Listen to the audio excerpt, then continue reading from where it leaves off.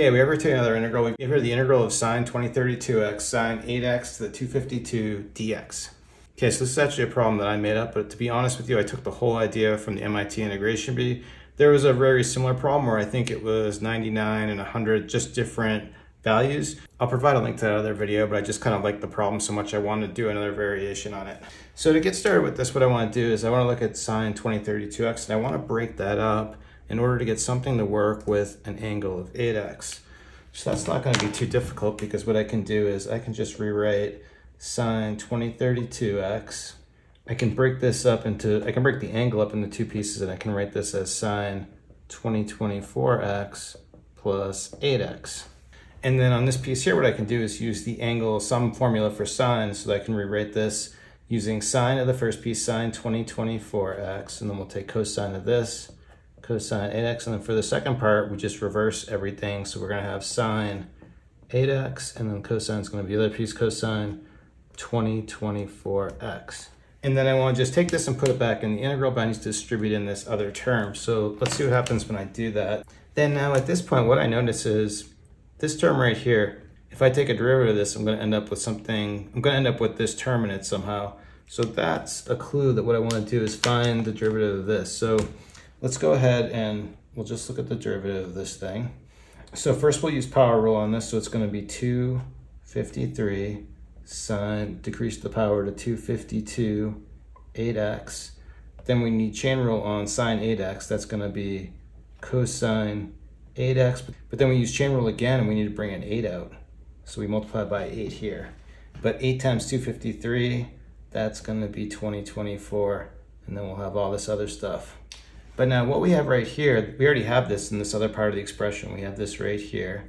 We don't have the 2024, but I can create that. What I'll do is I'll multiply in 2024 here, but I need to multiply it through the whole thing. So I'll multiply 2024 here, and I need to divide by it here, but I'm a little bit out of space, so let me squeeze that in. But now what I'm really getting at is if I just, let's just label this piece F, well then we have the exact derivative, the whole derivative right here, we'll call this F prime. But just notice we have this other piece sitting out here. Well, let's do this. Well, let's do the exact same thing on this and look at what the derivative of sine 2024x is. So if I do that, and let's just call this our g, then g prime is the derivative of this. This is going to be, first, we'll just take the derivative of sine 2024x, and we have cosine 2024x. But then we need to bring 2024 out front. But then we notice our g prime value is right here. So what we actually have here is inside the integral, this whole thing is actually just the product rule. Okay, so we have our product rule right here, and it just tells us that if we have the derivative of two functions, we take the derivative of the first times the second plus the first times the derivative of the second. And so we're in exactly the right form here. What we need to do here is we just need to look at what happens if this is an integral, because we do have this whole thing as an integral. So, so here on the left, if we're integrating a derivative, we just get back this stuff. So this whole thing is gonna become f of g plus c. But again, our integral is in exactly the right form. We have f prime g here, and then here we have fg prime.